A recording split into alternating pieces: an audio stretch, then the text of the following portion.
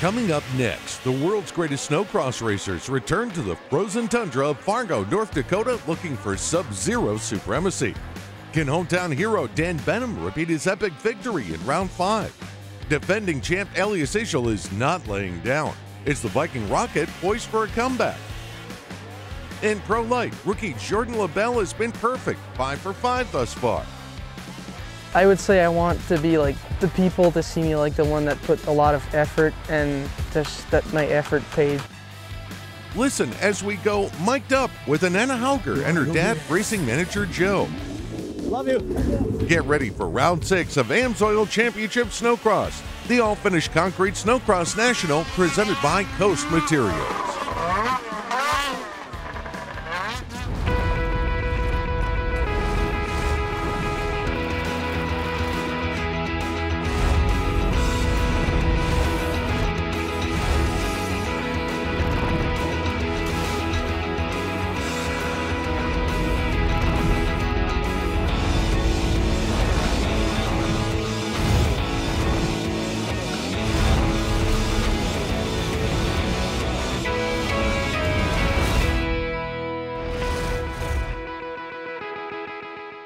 Just outside of downtown Fargo is the Red River Valley Fairgrounds and Speedway, our home for round six of AMSOIL Championship Snocross. Hi, everybody. Welcome to the All Finished Concrete Snocross National, presented by Coast Materials. Paul Small, Haley Shanley alongside Haley. In round five, we saw a brand new winner for this season. History was made into the excitement of the hometown crowd for All Finished Racing. Daniel Benham coming away with the win in the last one. We've got a big, bad track for our competitors to race on. Let's hear more about what's coming up tonight from the third member of our broadcast team, Josie Christian.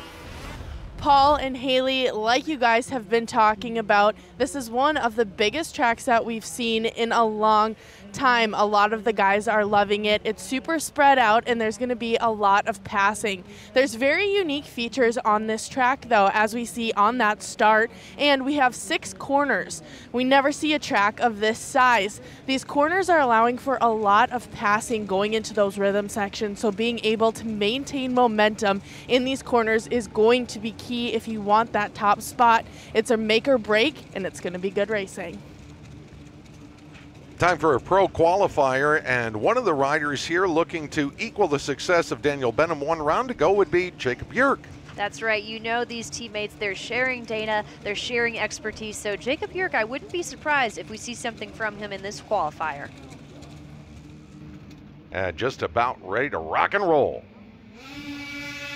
Pro qualifier action shoots off the line. Logan Christian trying to come out with the hole shot, but instead it's Adam Peterson and his teammate Kyle Pallin. The Lavalley Red Bull Polaris is bouncing in there, but here comes Logan Travis Kern as well, along with uh, looks like right behind them. That's going to be one of the Hentges sleds. Oscar Norm fighting for third. Oscar Norm looking for some redemption to get back on the box later on tonight. But a three-way battle between Adam Peterson, Oscar Norm, and Travis Kern. Wow, and here comes Kyle Pallin trying to come back into the mix as well. Logan will lead him out of that KS, or uh, that Coast Materials turn. And over the U.S. Air Force flyaway triple, Peterson in hot pursuit cranks his way on the outside, but coming up on the inside, Oscar Norm trying to take that shorter but a little bit rougher and bumpier route. Let's see what happens as they come down here into the Polaris turn. Now Peterson's going to get in there ahead of Oscar Norm and at least hold on to the second spot here for the moment. Oscar Norm going to force the issue on the rookie Adam Peterson here. Can he make it happen into the FXR corner?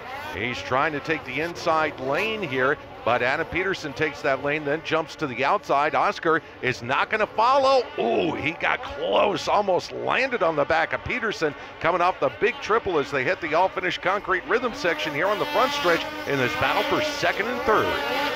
And this is where it's going to take patience, just as to not make contact with one another. Keep it smooth, keep it clean. And he there almost makes it happen. Got a little bit tangled up, but maintains his speed. Yeah, fortunate where that contact was on the sled that they didn't lock skis together. So Norm lives to fight on, and that may have wrinkled him up a little bit now to turn up the wick as he goes chasing after Adam Peterson, and then behind him is Kyle Pallin, the teammate to Peterson. So right now, Norm's caught in a Red Bull sandwich, except, well, he just got out of the filling, and he's uh, the top slice of bread. He's moved into the number two spot. He did. A good, clean pass from the number 40, Hentges Racing back to Polaris. Now sight set on the 43 of Logan Christian in the lead. And Logan Christian, teammate to Hunter Patino this season out of the Scheuring Speed Sports stable on that Amsoil U.S. Air Force Skidoo. Business is picking up at the head of the class as Logie comes over the double, then the triple. Oscar's going to try to set up on the inside. Logan hears him coming, takes the line away as they come out of the FXR turn. They'll rumble back through the rhythm section. A little miscue there for Logan, but Oscar not close enough to capitalize. Still a couple of sled lengths back. They've just gotten the two to go signal. Here we go, two to go. Where we had seen Oscar Norm make his pass was on the on the back stretch last time around, and that is where we are approaching. So he's going to look to make a move once again. He's uh, going to ramp around the outside of that Arctic Cat corner there. The banking kind of falls away on you on the outside. That's what keeps those lanes kind of equalized. Now he's going to swap up, go to the outside, put the power down, and makes the power move with authority to take over the lead with a lap and a half to go. Overall this season, Logan Christian does have a better qualifying effort on average over Oscar Norm. So Oscar Norm looking to get some better results here in these qualifiers. Those points ever critical. Oscar works out of the FXR turn now. He'll come to the white flag this time. So Norm driving his way up through the field here to take the lead as we come to the white flag. Final lap in this pro qualifier. Oscar Norm, Logan Christian, Adam Peterson, Kyle Pallin, which those two teammates neck and neck, but Oscar Norm makes his way through the final turn. And he'll come to the Amsoil finish line jump and nab himself a qualifier win. Throws a little heel clicker for good measure over the Amsoil finish line jump. Good styling from Oscar Norm, followed by Logan Christian, Adam Peterson, Kyle Pallin, and Jacob Yurk rounds out the top five. Still ahead, the Pro Light class is on the line, readying to go green. But first, time for another tour in the Amsoil garage. Yes, we are at the Electric Development Center. This is in Valcourt, Canada. The BRP EV plan comprises uh, the electrification of each of our product lines, so a total of eight. Each of them will get electrified in the next uh, five years by the end of 2026. The advantage of the BRP electric product will be uh, sustainability, of course. This is a key aspect that customers are looking for. They will also be uh, giving a great experience in terms of noise and vibration. Uh, also, it's uh, democratizing the sport. It's much easier to use overall. So these are all advantages that our customer will see from our product. For snowmobile, I would love to give you more details, but of course, the, the plan is still confidential. Uh, like I said, we'll electrify all of our eight product lines. Snowmobile will be part of it. Uh, As we head to break, check out the Veterans Bridge that spans the infamous Red River and shapes the border between North Dakota and Minnesota. Amsoil Championship Snocross on CBS Sports Network is sponsored by Amsoil. Runs on Freedom. By the U.S. Air Force. Full time, part time, in or out of uniform. Join us. And by Makita. Experience Makita cordless outdoor power equipment. Rule the outdoors. The crews get a great look at the action from this Makita Power Tower here in the infield of Fargo. Makita is the official power tool of Amsoil Championship Snocross. The Warnert Racing sleds have been on fire in the 2022 season. Well, it's not possible without a great team behind them. And what are these mechanics using? How are they doing it? Let's find out with Makita Shop Talk. Hi, this is Nathan McConnell, lead tech at Warnert Racing. Today we're going to talk about brakes. Here's what the Hayes, just the pads look like. I have a fresh set of pads here. You'll see at the races, some riders' brakes will be glowing so much so you can see it. Looks like it's glowing this big.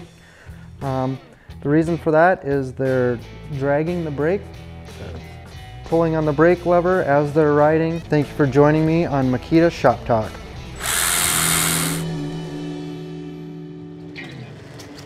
It's time for our Pro Light Final. Can anybody stop the Jordan Juggernaut? Well, one rider that will make it tough for him, if not be the man to beat, is Marcus Ogemar. Reason being, he is getting more and more practice time in on his sled, unlike he had previously this season. Let's go to Josie Christian now and get this pre-race report. Here with Nick Lorenz, coming off a pretty good weekend that you had in Iowa, a third and a second. Obviously, a little bit of motivation boost going into Fargo. The third and the second was awesome to sweep both of my heats both days. Uh, that was that was perfect. That's what we need to do. I think it's gonna be really good racing. It's a really technical long track, like minute lap times, and I'm excited for it. We're ready to go. Pro Light Final. Let's go. Anson Shield trying to get the hole shot, but it's Gustafson who will get out first with Lebel right behind him in the number two spot. And Lebel not going to waste any time, tripling through the second half of that rhythm section up into the lead. Jordan Lebel making those passes early on in the race as he done all has done all season long, but we see the number 58 of Marcus Ogemar going to make his sweeping outside turn through the FXR corner, and he will approach the, the Amsoil finish line first here on lap one. Whoa, and Lebel sails it, flatlands it as it goes up into the turn. Here comes Evan Dowd ripping along there in the number three spot, trying to catch up. And Ogemar going step for step, taking the lead back from Jordan Lebel. He goes to the outside of the Arctic corner. Lebel goes to the inside. Anson Shield has gotten back up ahead of Evan Dowd for the number three spot. Man, it's on here at the front of the field. Here we go. Marcus Ogemar on the big defensive right now for Jordan Lebel. Again, a rider with such a target on his back. But Jordan Lebel, a little bit better in the end of the first half of that rhythm, and now he will shoot out ahead of Marcus Ogemar. He goes right to the outside to take Marcus's line away, coming through the FXR turn. Anson Shield now having to deal with Evan Dowd to race for third and fourth, and Nick Lorenz is right behind them in fifth. And the last thing anybody wants to see is this guy out front starting to pull away. A rider taking the biggest trip over the Amsoil finish line tabletop was Nick Lorenz, again charging his way forward. But Jordan Lebel out front right now, the fastest sled on track, only rider to break a sub 58 second lap time. So the fastest rider out on track. But this battle between Evan Dowd and Marcus Ogemar continue to forge forth. And Anson Shield in the mix. Here comes Lorenz as well. So business is about to pick up here for second, third, and fourth early on in this Pro Light final. And Lorenz with a little hit check there on Anson Shield as they came out of the Polaris turn. So that'll move Lorenz to fourth. Lorenz making the pass as they make their way through the Skidoo corner just before it actually big air section of the track heading into the FXR corner coming up next, but he is hunting down the number 413 of Evan Dowd. And he's going to keep it up on the outside here, not trying to, not close enough to try the inside lane yet on the FXR turn. But Lorenz, he's really dialed this rhythm through the all-finished concrete section here on the front stretch. And I thought he was starting to draw in here a little bit on Ogemar, but Ogemar good on the back half of it as they both ramp off the Coast Materials berm head for the U.S. Air Force flyaway. Time is ticking away. The clock is going to expire before your leader, Jordan Lebel, gets to the Amsoil finish line. So that means we'll have two to go when he gets there. The faster of the two sleds right now in this here matchup between Marcus Ogemar and Nick Lorenz. Nick Lorenz is the faster sled as it stands. And here we are. That time clock is going to expire next time by three seconds plus two laps remain. And this is where Nick Lorenz is going to kick it into high gear. Again, working with his trainer who comes with him to all of his events. So where he is going to capitalize here is in the very late paces of this final. So the two to go signal is up for Jordan Lebel as he comes through this all finished concrete rhythm section. And he'll see that two to go signal as he blasts back over the Amsoil finish line jump. Working that Makita Baja Jerky sponsored skidoo from the Warnert Racing Stable. Back to the U.S. Air Force flyaway. Lorenz still chasing after Ogemar as they race in second and third. Anson Shield, Riley Bester rounding out the top five right now, but they are way behind that battle for second and third place. Back through the Skidoo corner for the final time. Jordan Lebel floating it over the double triple combination and into the FXR turn. Well, the Makita Baja Jerky Warnert Racing Team has had a stranglehold on the Pro Light division, and it's because of this guy.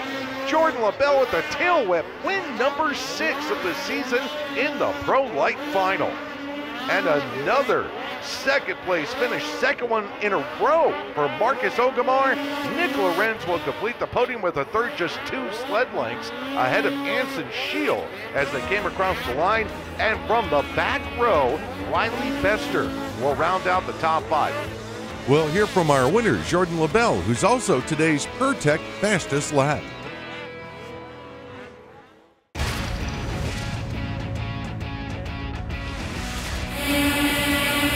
Jordan Lebel trying to pull the hole shot there, five wide, and there's a huge wreck involving two or three sleds. Lebel was not involved in it, and I don't know how he got through that. Marcus Ogemar comes out with the lead. Lebel coming to the inside of Ogemar, trying to challenge him as they blast their way over the air zone, down through the triple. Evan Christian running in third, and Marcus Ogemar will lead here at the end of lap number one. He'll cut to the inside coming off the Skidoo corner, so he's starting to draw in on Ogemar, maybe sizing him up here and deciding where he wants to go. And he'll jump down to the inside, trying to take that FXR berm off the inside of that corner.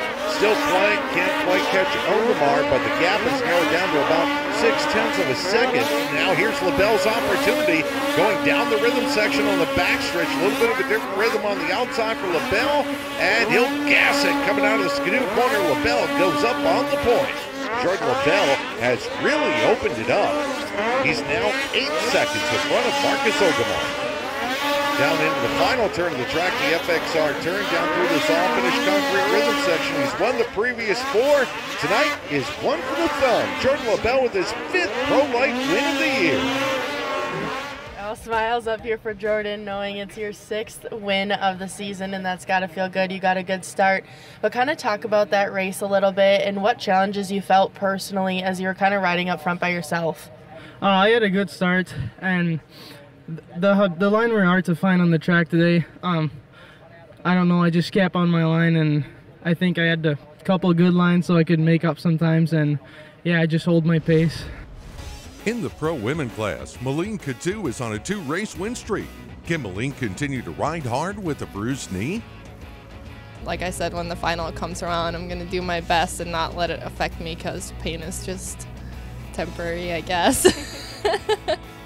Before we go green, let's listen in as we go mic'd up with Anana Hauger and her dad, racing manager Joe.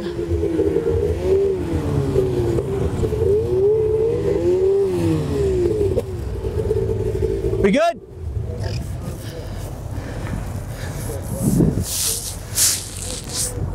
Go get it.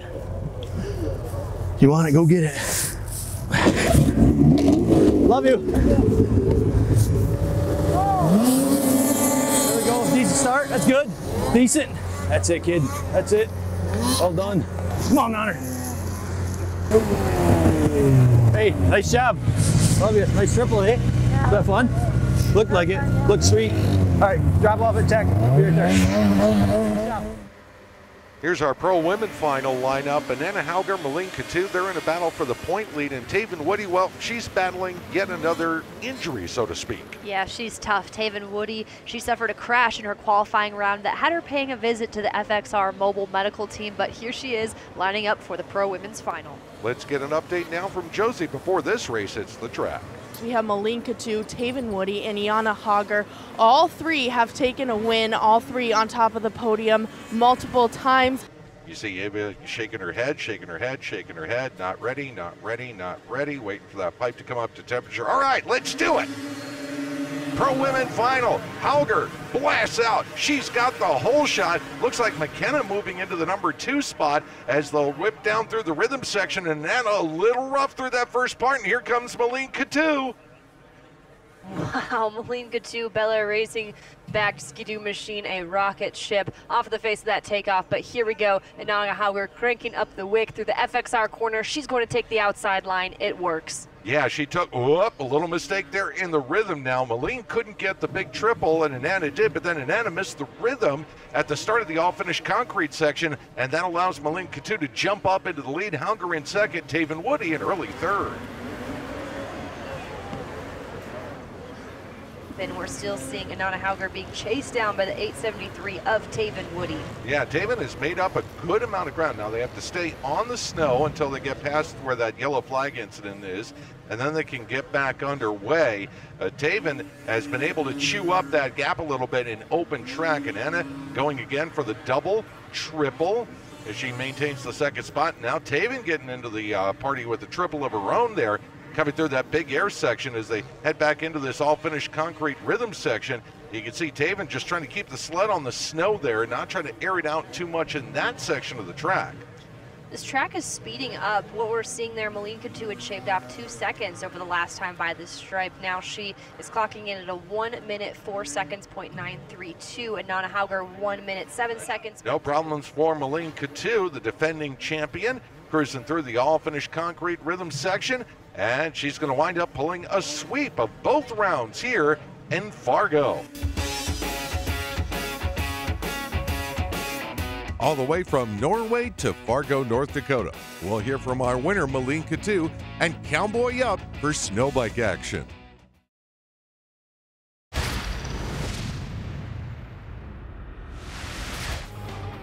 There's the green, and we are off and running. Let's see. Will it be Holeshot Hauger getting the hole shot? Not this time. Give it to Malene Coutu. Oh, it's about to get good now at the front of the field. Hauger and Malene Coutu battling it out. And I believe Taven Woody may be back there somewhere around uh, fifth, actually. She may not have gotten the greatest of starts. And now Hauger and Coutu battling Malene blasts by as they go over the Amsoil finish line jump, so she'll go into the lead. And she will come to the double checkers. It's another win for Malene Coutu. Definitely finding your groove out here on this track, getting two wins this weekend. What do you think it was about this or your riding style that clicked?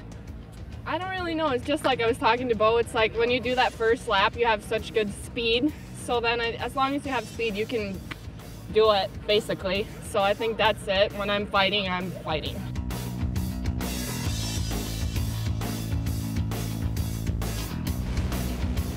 This is what happened earlier today in Moto 1 of Pro Snowbike. Jesse Kirchmeyer washes out, crashes, and takes out Yannick Boucher, who had nowhere to go. Now, they would roar back through the field to finish third and fourth, but Troy Horabati was the Moto 1 winner. That puts him in the driver's seat here in the second Moto. Yeah, Yannick Boucher, that's kind of been the story of his season. he's been wicked quick, but just cannot seem to avoid chaos. You know that the number 53 is looking to make a comeback in Moto 2. Let's get a pre-race report from Josie. Here with Jesse Kirchmeyer hanging out in your trailer on the saddle right now.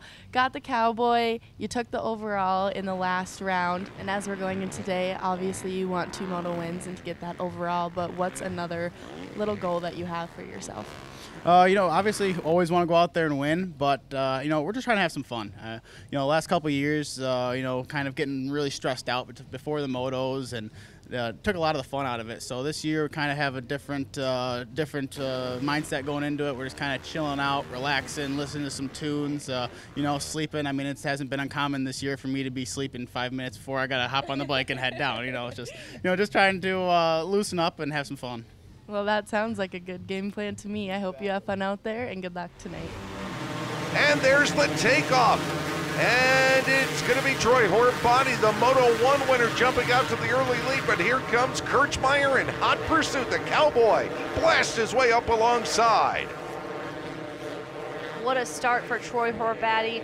But ultimately, Jesse Kirchmeyer with the power and the smoothness coming through those rhythms that ultimately propelled him to challenge for this front spot. We'll see who's going to come out on top of this FXR corner. And here comes the butcher, Yannick Boucher, and oh boy, her body drifted in front of him, and then he went off rhythm, and Boucher winds up doing a snow sample.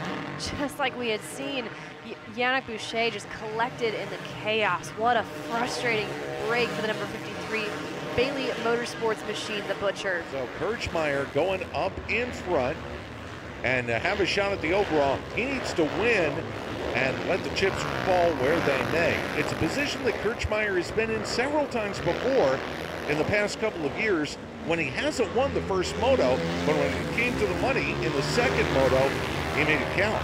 Jesse Kirchmeyer, oh, oh wait a minute.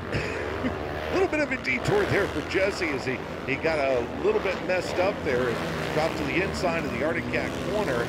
stayed upright, stayed on the bike. So Jesse coming across the line, getting the nod, doing what he has to do to have a shot at the overall. Our Pirtek fastest lap goes to Cowboy Jesse Kirchmeyer. Stay tuned. Josie's got the latest news from our winner after this brief timeout.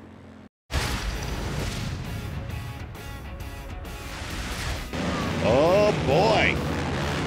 I don't know if Troy Horvati jumped or not, but he does not have the lead. It's Yannick Boucher, the butcher, cutting through the field to take the lead here. But now Jesse Kirchmeyer will launch his way past Yannick. So now Boucher chasing after Kirchmeyer. Oh, and Yannick almost sketches out. Wow. Yannick is starting to draw back in on Jesse. Got a little close there in that rhythm section on the backstretch, but when they got into the second half of it, Kirchmeyer a little smoother through, but here comes Yannick charging up. Whoa! Look out, Yannick taking out some FXR Coroplast. Still going to hang on to the second spot, I think. Kirchmeyer continuing on. He's had to make a save or two here in this one, but he is enjoying a pretty comfortable lead right now over Yannick Boucher, and he'll be coming to the white flag this time. To Kirchmeyer, second in the first moto, and uh-oh, he's got some smoke and some steam coming off of that. That doesn't look normal. And Kirchmeyer, he might have a little bit of a uh, wounded ride, but he's going to bring it home slowly but surely to the Amsoil finish line. And Kirchmeyer with the win in Moto 2 grabs the overall here tonight. Uh, obviously, we're all here, we're all competitors, we're all trying to go as fast as we can. So, you know, you do your best, you try to avoid uh, the ice and kind of, uh, you know, do your best throttle control. But uh, in the first moto, it kind of got the best of me and uh, went down. Unfortunately, me and Yannick got tangled up, and we both had to come from, uh, you know, back of the pack. I was able to come up for, you know, a third in the first moto, and you know, we won the second one, but uh, you know, we did all we can do, and you know, we're just uh, happy to be up here. It's 10 minutes plus two laps in the Amsoil Pro Final at the All Finish Concrete Snocross National, presented by Coast Materials. Amsoil Championship Snocross on CBS Sports Network is sponsored by Pirtek, 24 7 hydraulic and industrial hose service. By Sunoco, fuel your best. By Polaris. And by Amsoil, runs on freedom.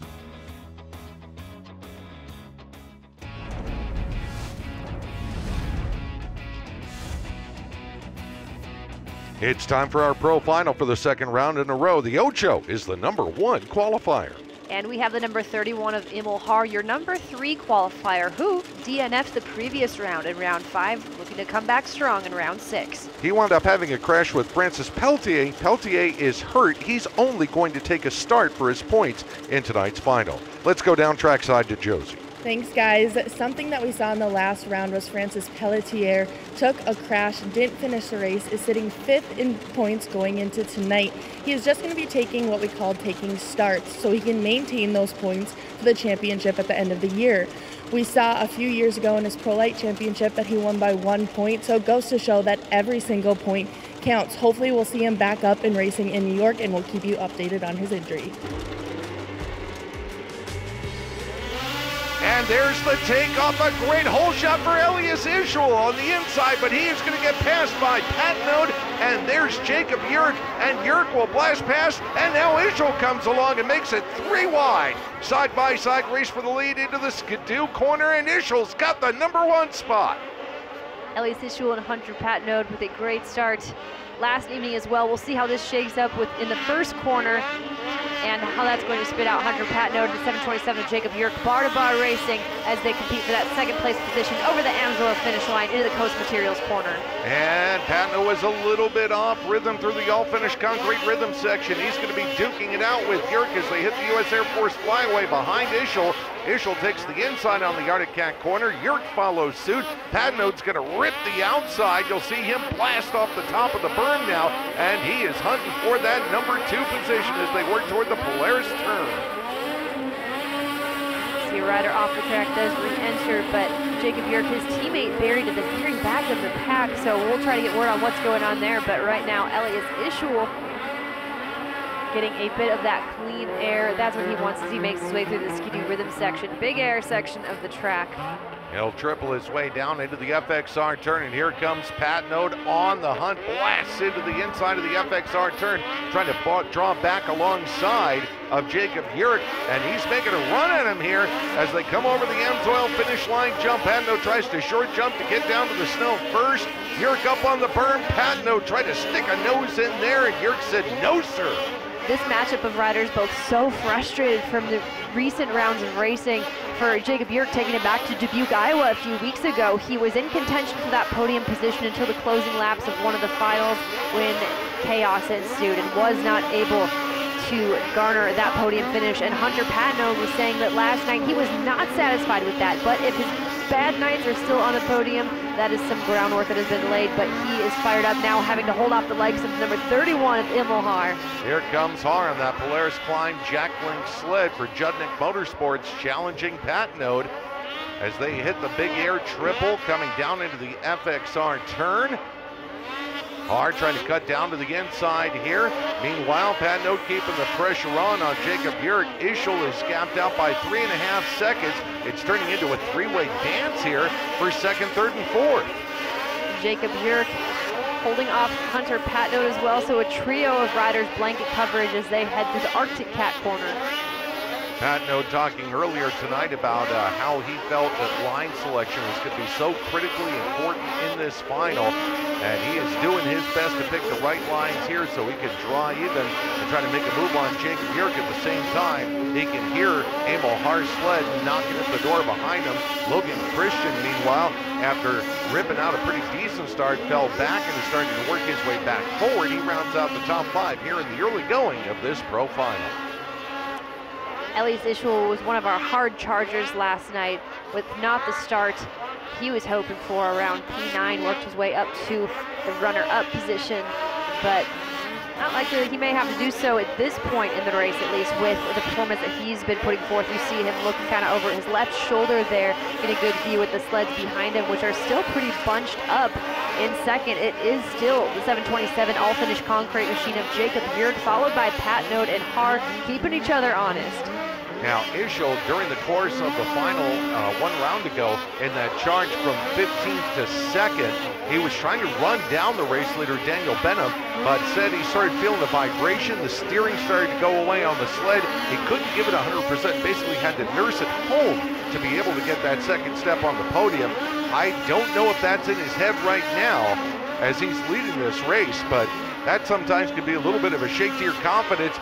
No shaking the confidence of Hunter Patenaude. The Ocho blasting down to the inside of Jacob Yurk. Can he make the pass stick this time? Yes, but Yurk crosses back over as they head toward the Amsoil finish line. Having to make the crossover move. Brilliant pass by Hunter Patenaude, the number eight. He crosses over to try to make the block pass, but Jacob Yurk quick to react and swap lines with him, all while still holding up the number 31 Judnick Motorsports ride. And now Emil Har knows he needs to turn up the wick here to try to get back up into this battle for position. Patenaude will charge off the outside of that Arctic Cat complex. Yurk trying to get back up alongside. Patenaude's going to try to throw the block going into the berm and executes it to perfection. Great defense being played out right now by the Scheuring Speed Sports Skidoo. U.S. Air Force back to number eight, who again took over the points lead just one round ago with his brother podium consistency right now, Imolhar is continuing to try everything he has on Jacob Yurk. We have four minutes, 47 seconds, and two laps remaining. So hard trying again, different line, rips through the all finished concrete rhythm section, hunting for that third spot occupied by Jacob Yurk. Yurk blasts to the top of the Coast Materials berm. Hard tries for a cut under move, not close enough to make it work. His next opportunity to pass here, he's trying to set it up to go to the outside here on the lane split through this Arctic Cat section. Hunter Patenaude, currently the fastest sled on track, but a rider on the move is his teammate, number 43, Logan Christian, who has worked his way up to fifth, but right now all eyes continue to be on the 727 all-finish concrete ride, Jacob Yurk holding off Emil Har. Emil, he is not able to pull away from Emil Har in any sense of the word. And Emil, this is where he's been at his fastest, is through this backstretch rhythm section. He'll draw right back up on Yurk, but he had to whoa up there as Yurk was directly in front of him coming out of the Skidoo corner. They'll make the run down into the FXR turn. They'll both stay on the outside, keeping the speed and the momentum up. Now Har going to try ripping the outside here through the all-finished concrete rhythm section. Still a couple of sled lengths back. Not going to have a shot at him here going into the Coast Materials corner, but he'll try to set him up now as they come back to the U.S. Air Force flyaway. Both riders have had their share of heartbreak and frustration this season. Jacob Yurk just yesterday was still struggling to get the suspension dialed to his liking. Now it's different for every rider what they prefer, but uh, it's been a continual learning curve for this team. And he said education and learning has been the name of the game. Each time out on track, they are learning. They're analyzing the data. Seems to be that things are clicking here in the round six AMSOIL Pro Final. And Emil Har not able to finish last night's race after big contact with Francis Pelletier. And it's about a four and a half second gap right now for Elias Ishoel over Patenaude. Patenaude has cleared Yurk, who for the moment now is able to get a little bit of breathing room here as we close in on about 245 plus two laps left to go here in tonight's pro final. Hunter Patenaude, again with a bit of a comfortable distance, at least compared to some of the other margins we're seeing out there. But uh, Elias Ishoel setting the pace of this field. And Ishoel launches his way back toward the Polaris turn on that Theme Motorsports Skidoo. Swept rounds one and two in Canterbury, and then was shut out of the podium at rounds three and four in Dubuque. One round to go, second. So it's been a while since he was able to grace the top step of the podium. He's looking to fix that tonight. And he's the rider with the best track record here in the city of Fargo with three wins to his resume, one of which coming in 2021. But Theme Motorsports have been putting together a great ride all weekend for he and his teammate Marcus Ogemar. That's right, and Elias Ishoel looking clean out front, working with that clean air again, a bit of a comfortable gap. He's looking around. Some other battles I'm keeping my eye on in this field is we see the number 43 of Logan Christian, who has worked his way up again, maintaining that fifth place position, but is the number three, Adam Peterson, who has reeled him in. Yeah, Adam Peterson just off the right edge of your screen here, trying to draw in on Logan Christian in these final seconds plus a couple of laps in tonight's pro final. And here comes Adam. Good run this time, making his way through the all finished concrete rhythm section. I had to check up because Logan was right there in his line. So he's going to need to regroup and reset here coming out of the Coast Materials hairpin. Adam Peterson was a little frustrated yesterday with some incidents that happened earlier in the evening, contact with riders. But again, you got to have a short-term memory with these things. And we're seeing a good reset. Sure, I'm sure he's bouncing ideas off and communicating with his teammate Kyle Pallin as well. Kyle Pallin, who is sitting in the eighth place position behind Oscar Norum, but Logan Christian holding off the pro rookie and Elias Ishoel dominant out front. So the clock is going to expire, which means now the two to go signal will be up for the Viking Rocket as he blasts over the AMSOIL finish line jump. A couple of more trips around here in Fargo. Between that last lap, we're seeing a battle right now. Emil Har has reeled in the 727 finally. He has been lurking there just behind him, taking the inside line. Wow, that was an aggressive move by Har. Yurk, though, up to snuff, hanging on here as they will power their way over. Adam Peterson has just crashed out before the AMSOIL finish line while this battle for the final podium spot is taking place. Har's going to cross over here on Yurk. He's almost sketched out at the edge of the track, and Yurk will hang on here for the moment as they'll hit the backstretch here. We are on the two to go lap. Emil Har He's tried it. He's going to try it again. But Jacob Yurk, he knows he's there. He's been there for some time. He's trying things, executing patience where he has to, but time is about to run out. And they are going to hit a yellow flag section when they come out of the FXR turn, as they come to the white flag. So now they've got to ease it up here because Adam Peterson's sled stalled here in the middle of the track. Now as they go over the AMSOIL finish line jump, it's a one-lap shootout here for the final step on the podium break down your top three for you. Elias Ishoel again maintaining that lead. Hunter Patenaude, Jacob Yurk. That gap between Elias Ishoel, he's really distanced himself in these last two laps over Hunter Patenaude. About 10 seconds. Time and scoring leading last Whoa. time by. Throwing the leg up. That was not showing off. That was, I'm on the edge of control. Not time to show off yet, but he is flexing here on the final lap. Elias Ishoel, if he can maintain his rhythm, his composure, making his way through the skidoo corner. This battle's not over yet between Jacob Yurk and Emil Haar. Haar's going to try to go outside here and try to make a run as they make the turn toward the checkered flag. Coming down the straightaway, there you see Elias Ishoel crossing the line. Welcome back to the top step of the podium for the Viking Rocket. Patenaude is second. Here comes the race for third, and Yurk will hang on to grab the final spot on the podium over Emil Haar. What a great race there. And the rest of the field coming across. Logan Christian just holding off Oscar Norm and Kyle Pallin as they cross the line. But the win tonight goes to the Viking Rocket. Elias Ishoel, the Rocket's red glare in tribute to the Viking Rocket. Going back up on the top step of the podium here tonight at the All Finish Concrete Snocross National, presented by Coast Materials.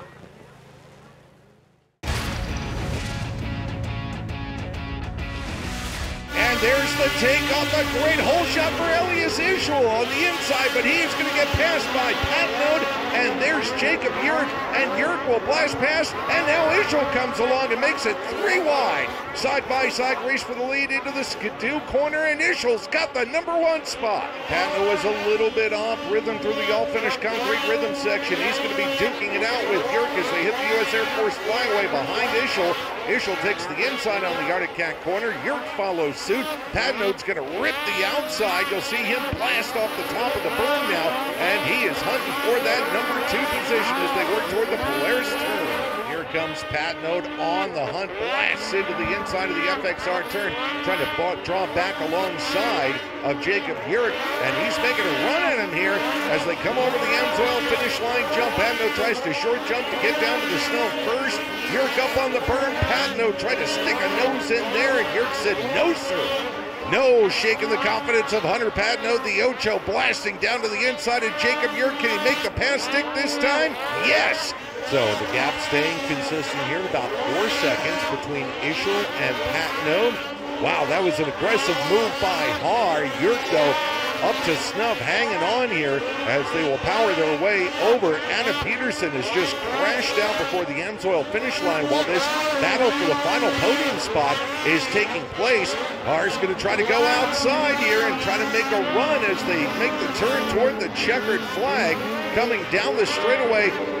There you see Elias Ishoel crossing the line. Welcome back to the top step of the podium for the Viking Rocket. Patenaude is second. Here comes the race for third, and Yurk will hang on to grab the final spot on the podium over Emil Haar. No, I was just trying to stay safe out there, of course, and just uh, get the sled uh, to the finish. It's a lot of uh, ice underneath, and yeah, it was a good race. And I just tried to be fast out there, be smooth, and uh, have fun. And uh, yeah, I mean, we made it. Uh, the yeah, in the hit races, the track was so smooth, but it got better in the final. So yeah, it was fun out there, and I need to thank my whole team. They've been working so hard this year, and Team Motorsport,